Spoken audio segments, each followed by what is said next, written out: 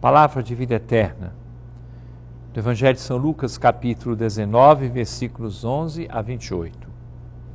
Naquele tempo, Jesus acrescentou uma parábola, porque estava perto de Jerusalém e eles pensavam que o reino de Deus ia chegar logo. Então Jesus disse: Um homem nobre partiu para um país distante a fim de ser coroado rei e depois voltar. Chamou então dez dos seus empregados, entregou cem moedas de prata a cada um e disse: Procurai negociar até que eu volte. Seus concidadãos, porém, o odiavam e enviaram uma embaixada atrás dele, dizendo: Nós não queremos que esse homem reine sobre nós. Mas o homem foi coroado rei e voltou. Mandou chamar os empregados aos quais havia dado dinheiro, a fim de saber quanto cada um havia lucrado. Primeiro chegou e disse: Senhor, as cem moedas renderam dez vezes mais. O homem disse: Muito bem, servo bom, como foste fiel em coisas pequenas, recebe o governo de dez cidades. O segundo chegou e disse: Senhor, as cem moedas renderam cinco vezes mais. O homem disse também a este: Recebe tu também o governo de cinco cidades. Chegou o outro empregado e disse: Senhor, aqui estão as tuas cem moedas que guardei num lenço pois eu tinha medo de ti, porque és um homem severo. Recebes o que não deste e colhes o que não semeaste. O homem disse: Servo mau, eu te julgo pela tua própria boca. Tu sabias que eu sou um homem severo, que recebo o que não dei e colho o que não semeei? Então, por que tu não depositaste meu dinheiro no banco? Ao chegar, eu o retiraria com juros. Depois disse aos que estavam aí presentes: Tirai dele as cem moedas e dai-as àquele que tem mil. Os presentes disseram: Senhor, ele já tem mil moedas. Ele respondeu: Eu vos digo: a todo aquele que já possui será dado mais ainda, mas aquele que nada tem será tirado até mesmo o que tem.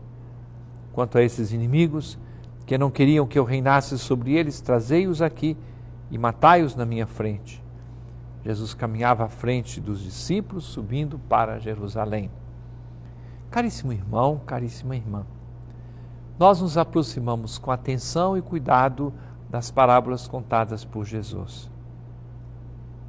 Porque será que Nosso Senhor estaria elogiando quando alguém manda matar os outros? Não.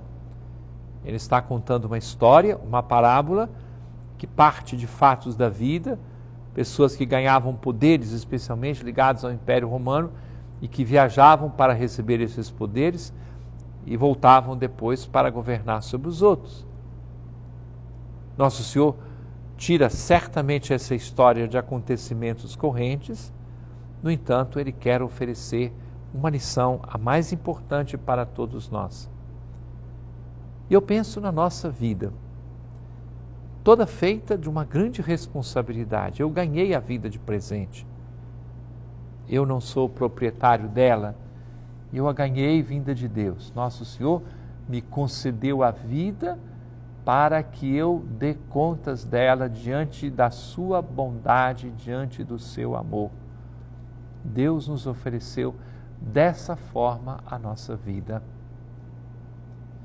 O quanto eu recebi, porque essa parábola tem outras versões semelhantes, o quanto cada um de nós tem, as capacidades que eu tenho, Deus não nos pede mais do que somos capazes de fazer, mas aquilo que está ao nosso alcance. Trata-se de uma responsabilidade. Não podemos empurrar a nossa vida com a barriga, como diz o povo, é necessário ter o cuidado para que cada passo dado seja uma resposta responsável ao amor de Deus que nos ama com amor infinito.